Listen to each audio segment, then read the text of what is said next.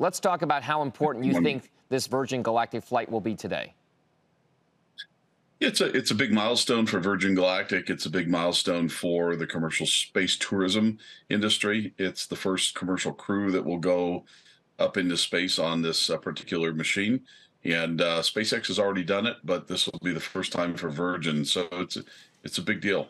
All right. In your mind, as you watch this, what exactly?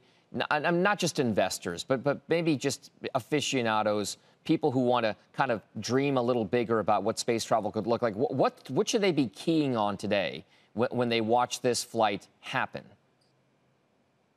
I, I would say I would key on just how routine this is probably going to become. Right now, it's not very routine at all. But you know what what I think Virgin Galactic brings to the table it, with their uh, their airplane based system. They don't uh, you know go into orbit. They go up into space and come back within a matter of hours and uh, this this is set to become a bit of a routine uh, the way they've they've set up the operations here. So I think that's the big promise of Virgin Galactic. Uh, whereas the others like SpaceX and that it's a, a bit more expensive.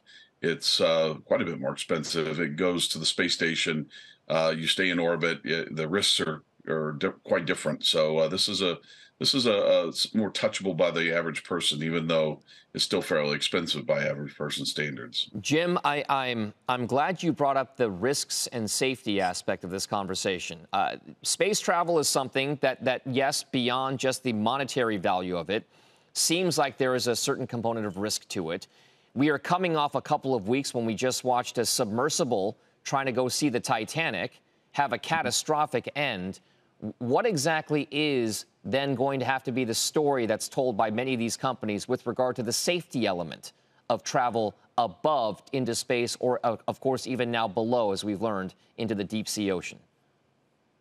Yeah, both, you know, diving that deep into the ocean and going into space was once the the sole domain of nation states, and uh, companies like SpaceX and Virgin Orbit, among others, have uh, started to make this available to the average person. SpaceX was the first private company to ever get a, a rocket into space that wasn't government funded, and uh, so so the deep space uh, uh submarine that, or sorry, the, the submarine that went uh, afoul last week uh, was was really a tragedy. And there, there's a big difference between these two things in, in terms of the regulatory agency on it.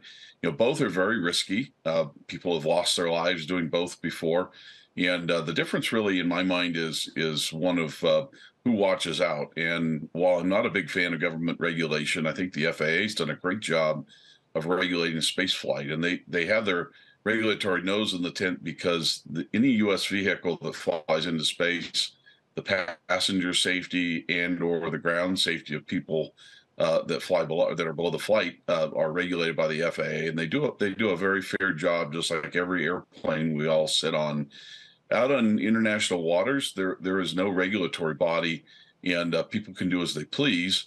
And I think we see the consequences of this. I, I my opinion is the Titan episode was very sloppy engineering. It was very sloppy uh, uh, validation of that engineering. They shouldn't have made it the way they made it with composites. It's it's the wrong use of carbon fiber composites uh, for for that kind of uh, application, and people died. And uh, you know, those of us who are engineers that understand this uh, are really pretty critical of what they've done. I don't think you'll see that same sort of thing in space uh, because of the regulatory side of it. The FAA does a very thorough job of looking through it, just like they do our airplanes. So I'm, I'm a little more optimistic about the space side, you know, although people will die and it's it's an inherently risky activity.